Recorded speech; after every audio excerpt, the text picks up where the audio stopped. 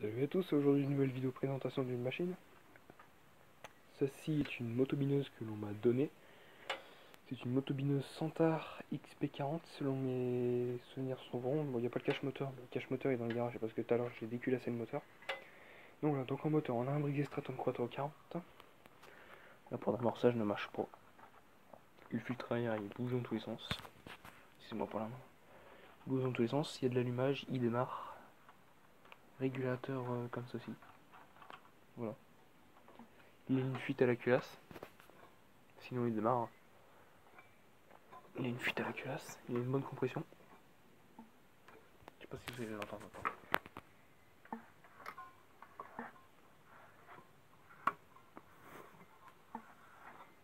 En tout cas on entend que ça donc euh, je l'ai démarré, il a été capricieux à démarrer, il a démarré.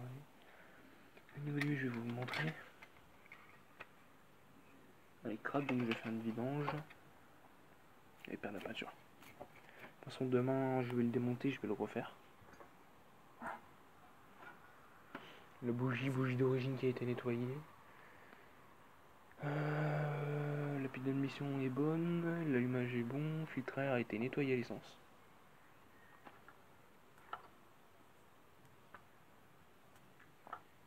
Pas parce qu'il se désintègre. Bon, c'est pas grave. Et donc voilà. Donc c'est une bonne bécane. Hein. C'est une bonne bécane. Ouais, c'est une bonne bécane. Je vais vous montrer les caches.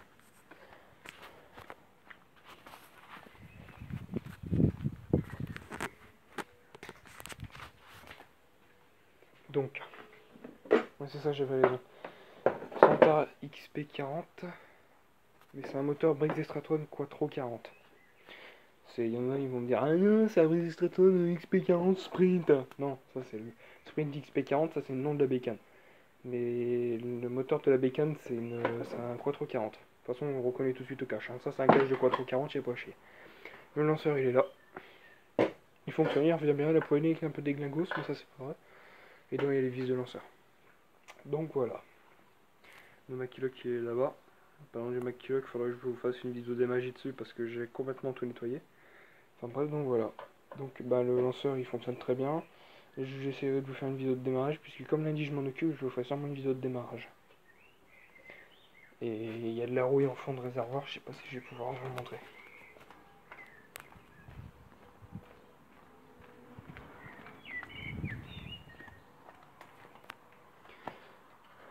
Dedans il y a de l'essence, mais bon. Il y a de la rouille en fond de réservoir.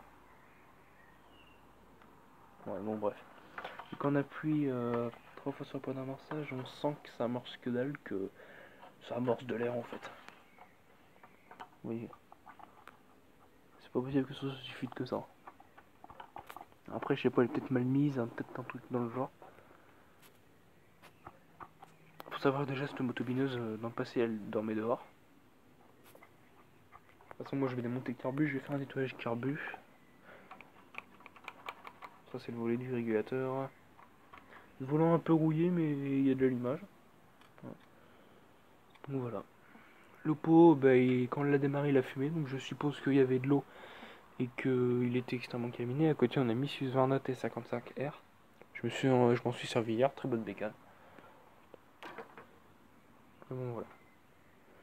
Donc voilà pour la motomineuse, donc euh, voilà. Bon voilà, j'espère que cette vidéo vous a plu. Et je ferai peut-être des vidéos de mécanique dessus, je sais pas, je J'espère que cette vidéo vous a plu. Si vous a plu, n'hésitez pas à liker, partager, commenter. Et moi, je vous dis bye pour une prochaine vidéo. Salut, YouTube.